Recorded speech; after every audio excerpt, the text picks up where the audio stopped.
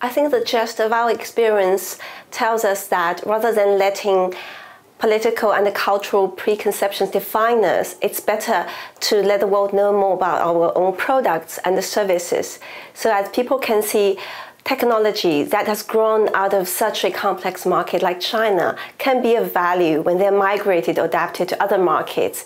It's about the strengths of the resources, strengths of our AI capabilities, rather than who we are culturally. One thing of helping um, any global media or global audience penetrate the cultural misunderstanding to see the essence of our business is to bring them down to the product and technology level. For instance, our safety features, emergency button, the way we monitor drivers and help them navigate the very complex roads of China, which are very different from the United States. When you go to that level of detail, people tend to get interested and understand you better than your fundraising story.